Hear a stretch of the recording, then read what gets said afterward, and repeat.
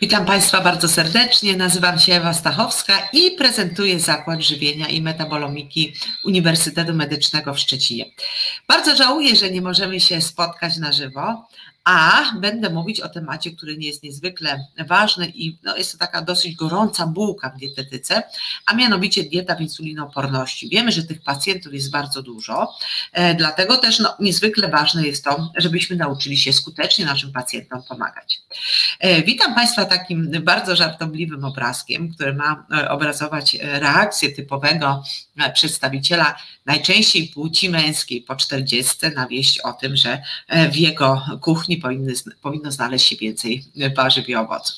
Oczywiście jest to bardzo prześmiewcze, bo na ogół ta reakcja jest zupełnie inna, ale w planie wykładu rzeczywiście Będę mówiła o tym, jak żywić pacjenta z insulinoopornością, ale także trochę o suplementacji, bo ona jest takim tematem bardzo gorącym w, w, insulinooporności. Powiem o probiotykach, berberynie i kwasach tłuszczowych omega-3. Jeśli chodzi o insulinooporność, proszę Państwa, to choruje cały organizm, to nie tylko jest mm, defekt y, czy y, odkładanie się tkanki tłuszczowej trzewnej na brzuchu. Mm, pamiętajmy, że jest to cały zespół metaboliczny, y, są dysfunkcje praktycznie wszystkich organów, od płuc po układ krążenia. Dlatego też wiemy, że w tej pandemii najnowszej, czyli pandemii COVID, pacjenci z insulinoopornością rzeczywiście mieli o wiele gorsze rokowania. Rozpoznanie jest dosyć proste Wystarczy do tego e, tak naprawdę e, wprawny, e, wprawny lekarz, a w gabinecie dietetycznym także dietetyk, który będzie mierzył obwód talii i odsyłał tego pacjenta, który w obwodzie talii ma większy, większy obwód niż te wartości brzegowe, czyli 89 cm dla kobiet, 102 dla mężczyzn, odsyłał do lekarza do dalszej diagnostyki. Jeśli chodzi o osoby otyłe, to proszę Państwa, no nie każda osoba otyła będzie miała insulinooporność. Mamy tutaj e, dwie osoby, e, osoby otyłe, e, ta po lewej stronie ma duży depozyt tkanki tłuszczowej podskórnej i brzusznej i tej tak zwanej udowej, natomiast stosunkowo niski depozyt tkanki tłuszczowej visceralnej. I ta osoba będzie otyła, ale nie będzie miała insulinooporności najprawdopodobniej. Natomiast osoba która ma niski depozyt, czy mało tkanki tłuszczowej podskórnej, natomiast duży depozyt tej tkanki visceralnej, gdzie adepocyty mają e, bardzo dużo objętości, wydzielają dużo czynników zapalnych, to jest typowy fenotyp, fenotyp insulinooporności, przy czym ci pacjenci także mają e, bardzo często, czy właściwie współistniejące stłuszczenie wątroby. Tak naprawdę, proszę Państwa, u naszych pacjentów działają, działałyby rzeczy naj, najprostsze, gdyby pacjenci zechcieli je przestrzegać. Jak podają wytyczne kliniki Mayo, to rzeczywiście pięć takich podstawowych kroków, czyli regularna aktywność fizyczna, dosyć intensywna, ale nie za bardzo, e, e, szybkie spacery, Nordic walking uprawiany codziennie, utrata masy ciała już rzędu 7% daje pierwsze zwiastuny tego procesu e, zdrowienia, czy zdrowa dieta, którą tutaj rekomendowana jest dieta DASH, czy dieta typu śródziemnomorskiego, oczywiście rzucenie palenia, ale także e, poprawa e, radzenia sobie ze stresem. To jest ten czynnik, który tutaj specjaliści z kliniki mają, wymieniają jako ten, który może być istotny dla, dla pacjentów z insulinoopornością. Jeśli chodzi o diety, proszę Państwa, wszelkie diety, które działają, są dietami y, dobrymi dla naszego pacjenta, ale najlepiej było, byłoby, gdyby działały, czyli właściwie najbardziej istotne jest to, żeby działały i jednocześnie nie dawały jakichś negatywnych efektów w postaci niedoborów czy, e, czy zbyt intensywnego utraty, zbyt intensywnej utraty masy mięśniowej. Dlatego możemy w, w tych założeniach dietetycznych posługiwać jakby trzema, trzema możliwościami. Po pierwsze, możemy zastosować jakąś dietę, która generalnie jest odradzana, dietę o bardzo niskiej zawartości, gdzie wykluczamy coś, jakiś nutrient, a więc o bardzo niskiej zawartości węglowodanów, czy o bardzo niskiej zawartości tłuszczów. Możemy manipulować czasem i te restrykcje czasowe są niezwykle w tej chwili mocno czy intensywnie badane, jako bardzo rzeczywiście ciekawe. No i możemy w, końcu wprowadzić dietę, gdzie będą określone restrykcje określonych grup żywności. I tu mamy dietę bezglutenową, mamy dietę typu śródziemnomorskiego, mamy dietę paleo, ale oczywiście z tych wszystkich diet e, najbardziej sprawdza się dieta jak najmniej obciążająca i jak najbardziej e, wprowadzająca jak najszerszą paletę różnych, e, różnych rzeczy, które pacjent może wykorzystać w swojej diecie, czyli dieta typu śródziemnomorskiego, stąd też ona też jest zalecana przez, pacjent, przez lekarzy z kliniki Mayo i w ogóle przez specjalistów zajmujących się insulinopornością. Jeśli chodzi o skuteczność diet, to proszę Państwa też pokazują badania, że niezależnie właściwie od, od, e, od tego, jaki czynnik e, z tej diety będziemy eliminować, czy będzie to dieta o zmniejszonej zawartości cukrów, czy dieta o zmniejszonej zawartości tłuszczu, tak, taka, takie porównanie było czynione, one właściwie po paru miesiącach działały bardzo podobnie, tam różnica była bardzo niewielka w ubytku masy ciała, natomiast generalny wniosek jest taki, że dieta musi być taka, żeby pozwalała pacjentowi normalnie żyć, żeby była przez tego pacjenta akceptowana i żeby ten pacjent odniósł maksymalne korzyści, rozumiane także w ten sposób, że nie będzie miał żadnych niedoborów. Musimy też pamiętać, że nawet gdybyśmy się bardzo starali i z tym pacjentem naprawdę bardzo dobrze nam się współpracowało, to badania też pokazują, że 50% z pacjentów jest w stanie w dłuższym okresie e, czasu się do diety stosować. Tyczy to się szczególnie pacjentów ze stłuszczeniem wątroby, ale także pewnie i pacjentów otyłych i ten e, podział garderoby na rzeczy, które nie noszę, ale będę nosić wtedy, kiedy schudnę, jest naprawdę aktualny mniej więcej dla połowy z nas. Wróćmy teraz do naszych diet. Proszę zobaczyć, tu jest, są zebrane różne diety, dieta Atkinsa i ketogeniczna, de facto one są bardzo zbliżone, dieta Zon, Ornisza, Paleo, dieta bezglutenowa i śródziemnomorska. E, to ten mm, zbiór tych diet jest może dla insulinooporności dosyć przypadkowy, ale on pokazuje, mamy tutaj grupy żywności, że właściwie tylko dieta typu śródziemnomorskiego z tych wszystkich diet jest, jest dietą najmniej ograniczającą. Nawet dieta E, bezglutenowa, która jest taką dietą bardzo modną swego czasu była, na szczęście już tej ta moda dla wszystkich stosowania diety bezglutenowej ustaje, proszę zobaczyć, że o wiele bardziej e, ogranicza niż dieta śródziemnomorska. Ta dieta jest pachnąca, jest kolorowa i jest pełna wszelkiego rodzaju dobra, dlatego też pacjenci są w stanie tą dietę w dłuższym okresie czasu bardzo dobrze tolerować. Oczywiście mamy tutaj pewne, e, pewne schematy, którymi musimy postępować z pacjentami, czyli określoną zawartość warzyw, owoców, produktów mlecznych, czy nasion, czy ryb, czy też mięsa. I widzimy, że no, w diecie typu śródziemnomorskiego, czy w diecie DASH, przeważa konsumpcja rzeczywiście warzyw i owoców, jest znacznie więcej niż w typowej diecie polskiej. I to jest jeden z problemów, które musimy, czy obiekcji, które musimy pokonać u pacjenta. Natomiast nie ogranicza ani za bardzo tłuszczu. To jest dieta bardzo smaczna poprzez to, że dajemy określone tłuszcze, czyli zdrową oliwę z oliwek i tłuszcze z nasion i orzechów. Natomiast drugą taką obiekcją z mojego punktu widzenia, bo ja bardzo często właśnie tą dietę ordynuję, jest to, to, że musimy ograniczyć spożycie czerwonego mięsa. I to rzeczywiście, kiedy mówimy e, takiemu typowemu e, e, przedstawicielowi, szczególnie właśnie płci niepięknej po 40, że cztery razy w miesiącu mięso czerwone, no jest to rzeczywiście dosyć duży problem. Ale dieta typu śródziemnomorskiego jest rekomendowana i bardzo do tego Państwa zachęcam. E, warto też przyjrzeć się czy śledzić informacje dotyczące restrykcji kalorycznych, ale wywołanych poprzez manipulację czasem. Czyli mówimy to o przedłużonych postach czy o jednodniowych głodówkach. Inne głodówki, nawet już jednodniowe u osób, które e, mają cukrzycę typu drugiego, zawsze trzeba konsultować z lekarzem i pacjenci o to bardzo w tej chwili pytają. Pamiętajcie Państwo, że no tu musimy mieć zielone światło od lekarza. Ale e, przedłużony post, czyli niejedzenie posiłków przez mniej więcej 12 do nawet 16 godzin jest takim rozwiązaniem, które może być dla wielu pacjentów pomocne. Chodzi tylko o to, żeby trzymać się żelaznych zasad, żeby jeść późno, e, później może to śniadanie, ale jeść śniadanie, żeby posiłkiem, który może być mm, pomijany jest ten ostatni posiłek, czyli kolacja, albo ta kolacja powinna być zjedzona e, wcześniej, że e, tych posiłków zwykle jest 2-3, co oczywiście może budzić kontrowersje, no ale proszę zobaczyć, że korzyści płynące ze stosowania takiego przedłużonego postu niewątpliwie są. To jest uporządkowanie przemian energetycznych, to jest poprawa insulinowrażliwości i aktywacja procesu, który się nazywa autofagią, czyli usuwania tych nieprawidłowych białek, które e, mogą mogą być odkładane w komórkach.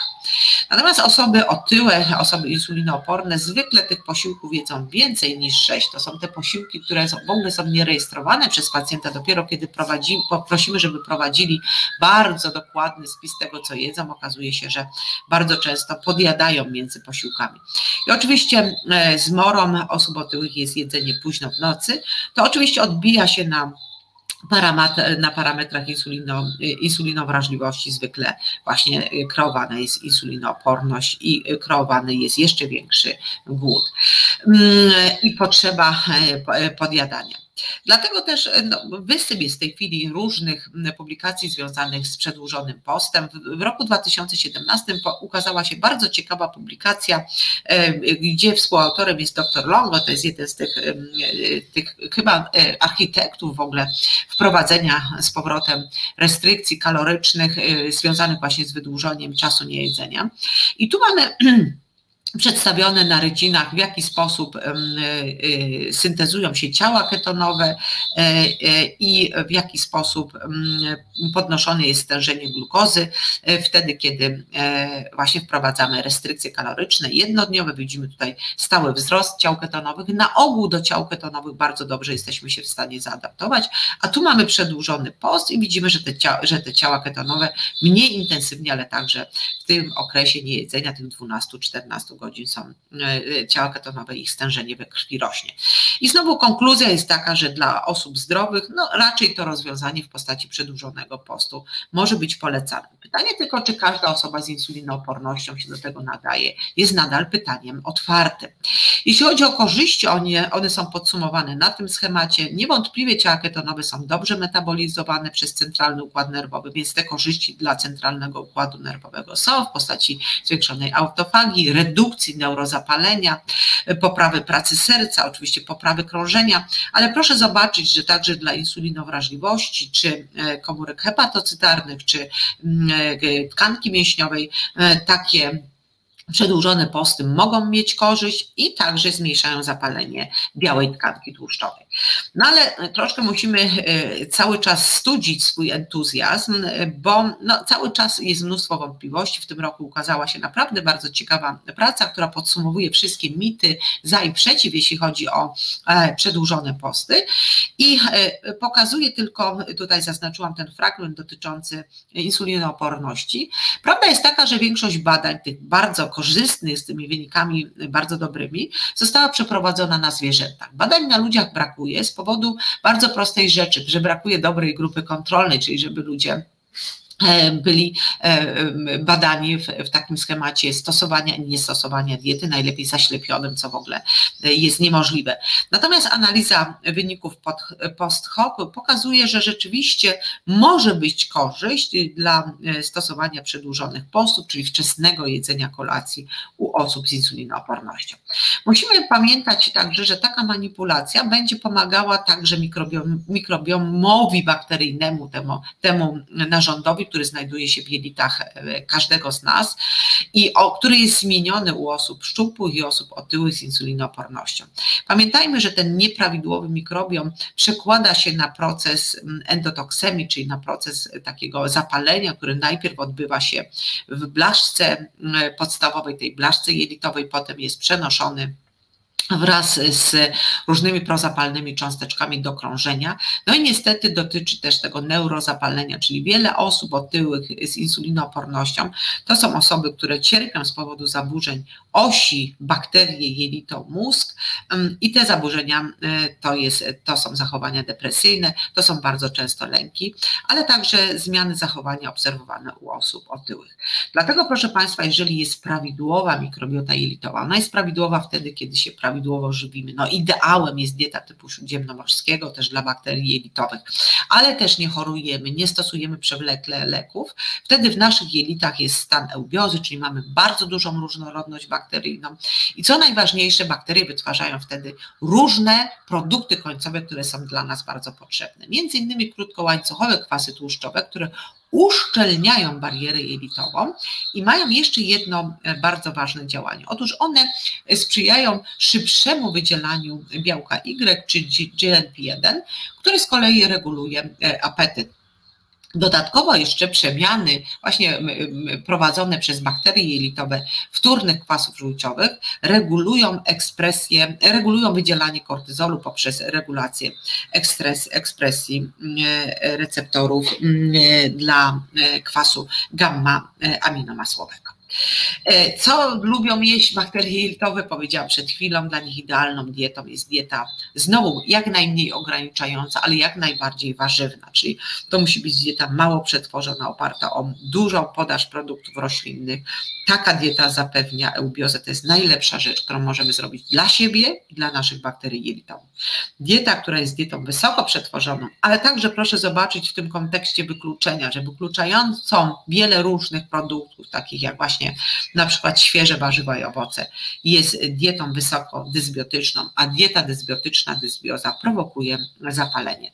Co lubią jeść nasze polskie bakterie jelitowe? Musimy pamiętać, że troszkę jest tak, że ta szerokość geograficzna i nawyki żywieniowe, populacyjne grają tutaj rolę. Tu mamy kwintesencję polskości w słoiku po majonezie e, kieleckim, e, pieczałowicie, gdzie przechowywany był najpierw drzem truskawkowy własnoręcznie zrobiony. Teraz mamy przepiękne, e, sfermentowane ogórki, które są cudowną, cudowną alternatywą dla właśnie naszych bakterii jelitowych na takie dobre, dobre ich samopoczucie. Powiedzmy parę słów o probiotykach, bo probiotyki to w odróżnieniu od żywności probiotycznej mamy już starannie wyselekcjonowane szczepy, które mają w naszym organizmie zrobić coś konkretnego. No pytanie, czy mamy takie szczepy dla insulinooporności? Wydaje się, że tak. Mamy tutaj badania, parę badań, badania Szulińskiej z roku 2018, go, która stosowała tak, taki wieloszczepowy probiotyk Ecologic Barrier, Ecologic Barrier, stosowała w dwóch dawkach, wyższej i niższej przez 12 tygodni i ona po tych 12 tygodniach w tej wyższej dawce probiotyków e, zauważyła redukcję stężenia glukozy nadczo, poprawę parametrów mm, e, e, insulinoporności, zmniejszenie wydzielania insuliny i zmniejszenie wydzielania prozapalnego LPS-u, czyli zmniejszenie endotoksemii. Rok wcześniej dość podobne wyniki uzyskał Sabiko, też stosując ten sam preparat, czyli Ecologic, Ecologic Barrier. I, I, tutaj to badanie było tyle ciekawe, że po tej pierwszej fazie 12 tygodni, gdzie jedna grupa dostawała probiotyk, a druga nie, e, te badania były kontynuowane przez dalsze 6 miesięcy i okazało się, że po pół roku już też było widać takie podobne efekty jak u dr Szulińskiej, czyli mamy poprawę glikemii, redukcję stężenia triacyloglicerydów, Natomiast po pół roku stosowania probiotyku, ale nie diety, tutaj właśnie o to chodzi, że był sam probiotyk, faktycznie zmniejszył się obwód pasa i poprawiły się parametry insulino, e, insulinowrażliwości. Ważną rzeczą jest też radzenie sobie ze stresem, to jak Państwo pamiętacie, specjaliści z kliniki mają, e, też podkreślają, że jest bardzo ważne dla naszych pacjentów insulinoopornych. I oczywiście tutaj też można pomyśleć o zastosowaniu psychobiotyków, bo psychobiotyki, ich rolą jest poprawa funkcjonowania właśnie osi mózgowo-jelitowej. Ona jest tu na schemacie przedstawiona w ten sposób, że mamy dysbiozę, czyli coś spowodowało nieprawidłową e, skład bakteryjny, zmniejszenie ich różnorodności, pojawienie się większej ilości bakterii patogennych. To oczywiście te bakterie wytwarzają różne substancje, które dostają się do krążenia, które aktywują e, enteryczny układ nerwowy czy nerw, e, dziesiąty nerw czaszkowy.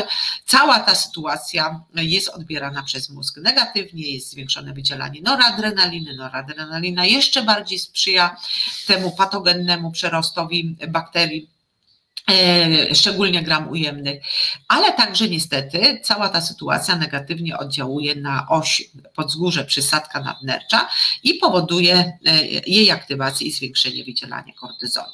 I tutaj można zastosować probiotyki. Jak widać, niektóre, mamy już pierwsze badania, które pokazują, że one są, mm, mogą być skuteczne właśnie w tej regulacji osi e, jelito-mózg, E, e, mikroby jelito-mózg i tych badań jest już sporo. Ja pokazuję takie dla mnie bardzo fajne i takie ikoniczne wręcz badanie z 2010 roku, gdzie osobom zdrowym, ale takim, które deklarowały, że no niestety są poddane stresowi, na 30 dni poddano mm, właśnie psychobiotyk, przy czym ani pacjenci, ani lekarze nie wiedzieli, czy pacjent dostaje mm, probiotyk, czy dostaje placebo.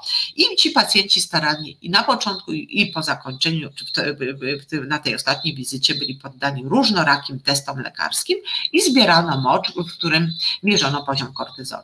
Oczywiście okazało się, że Ci pacjenci, którzy stosowali psychobiotyk, znacznie lepiej radzili sobie ze, z różnymi uczuciami, z depresją, ze wzrogością, ze złością i w tych typowych skalach lekarskich y, depresyjności wypadli dużo lepiej, ale także badanie biochemiczne, badanie kortyzolu w moczu pokazało, że po prostu tego kortyzolu było mniej. Jakie dawki psychobiotyków, żeby poprawić ten stres? No nie są te dawki niestety określone, mamy takich, e, taką, takie wydanie z 2020 roku, gdzie pani doktor Sabiny Murk, która pokazuje, że właściwie taką najbardziej typową dawką jest dawka 3 razy 10 do 9 e, jednostek tworzących e, kolonie, ale oczywiście no, im, jeżeli będzie, podamy troszkę więcej, tak jak w badaniach ludzkiego, ta, ta, ta, ta korzyść może być e, jeszcze szybciej dostrzegalna. Generalnie po trzech tygodniach, jak psychobiotyk ma zadziałać, to działa. Jak podajemy, jak długo? Zazwyczaj to jest 12 e, tygodni, a potem ten schemat pulsacyjny, czyli 10 dni każdego miesiąca, a potem już tego probiotyku nie bierzemy. Kolejnym bardzo ciekawym suplementem i bardzo modnym suplementem jest berberyna. Ja tutaj e, posiłkuję się e, właściwie ostatnimi, e, ostatnimi publikacjami i ostatnia bardzo ciekawa przeglądówka pokazuje, że rzeczywiście na wielu płaszczyznach ta berberyna może działać, na pewno dla naszych pacjentów, czyli pacjentów otyłych i pacjentów z cukrzycą drugiego, z insulinoopornością. Ona rzeczywiście może nieco tą sytuację łagodzić, dlatego nadaje się także dla pacjentów z dną moczanową i ze stłuszczeniem wątroby. Ale ja zawsze bardzo sceptycznie podchodzę do wszelkich wyników, które nie mają metaanalizy. Okazuje się, że metaanaliza już dla berberyny jest z tego roku. E, dużo prac, tutaj przejrzano ponad 600 prac i okazuje się, że no, zbadano wiele parametrów, no ale te, które nas w tej chwili interesują, czyli insulinowrażliwość, ona rzeczywiście po stosowaniu berberyny ulega e, poprawie, czyli ta, rzeczywiście jest tutaj skuteczna i także stosowanie berberyny poprawia stężenie glukozy nadczo, czyli ta, ta glukoza, jej stężenie we krwi jest mniejsze. Ale oczywiście nie ma dymu bez ognia. To nie jest mm, preparat, który mogą stosować y, wszyscy, na pewno nie kobiety w ciąży, na pewno nie dzieci. Mogą pojawić się działania niepożądane, o czym też trzeba pamiętać y, w postaci właśnie dysfunkcji jelitowych. No i chodzi też o dawkę. Ta najmniejsza to jest 200 mg, ale nie wolno przekroczyć, przekroczyć dawki 1500 mg. Co jeszcze bardzo ważne, że jeżeli pacjent stosuje metforminę czy inne leki, absolutnie musi być to skonsultowane y, stosowanie berberyny z lekarzem. Na koniec tłuszcze, rybie, które są y, bardzo przeciwzapalne i które są bardzo bezpieczne i na ogół lekarze nie mają żadnych e, e, tutaj wątpliwości, że mamy je do diety pacjenta włączyć. Taka dawka najmniejsza terapeutyczna to jest 250 mg dziennie. Oczywiście w diecie typu śródziemnomorskiego jemy dwie porcje tłustych ryb tygodniowo. Czy to wystarczy dla osób z insulinoopornością? Raczej nie. Dlatego trzeba sięgnąć, można sięgnąć też po algi, ale warto sięgnąć po suplementy. Problem jest tylko z ich jakością. Typowe suplementy zawierają bardzo niewiele niewiele tych najcenniejszych kwasów tłuszczowych, za to bardzo dużo wypełnienia. Inaczej jest z lekami, które może przepisać tylko lekarz. One rzeczywiście mają wtedy dużą zawartość i DHA, i EPA, małą zawartość tych dodatków. Co jeszcze jest bardzo ważne, są też badane pod kątem różnych zanieczyszczeń, czyli dioksyn i metali ciężkich. Proszę zobaczyć, jak dobrze plasuje się tutaj na tej liście olej algowy. Rzeczywiście ten olej ma bardzo dużo głównie kwasu do kosa heksaenowego. Natomiast rzeczywiście, jeżeli mamy takiego pacjenta już z bardzo dużą liczbą różnych powikłań metabolicznych, warto y, poprosić go, żeby porozmawiał ze swoim lekarzem, czy nie może mieć zapisanego y, leku y, zawierającego kwasy tłuszczowe omega-3. Proszę Państwa, bardzo dziękuję za uwagę. Proszę zawsze ciepło myśleć o swoich, o swoich bakteriach jelitowych. Jeśli są pytania, bardzo proszę o zadanie tych pytań. Ja bardzo chętnie na nie odpowiem. Dziękuję bardzo.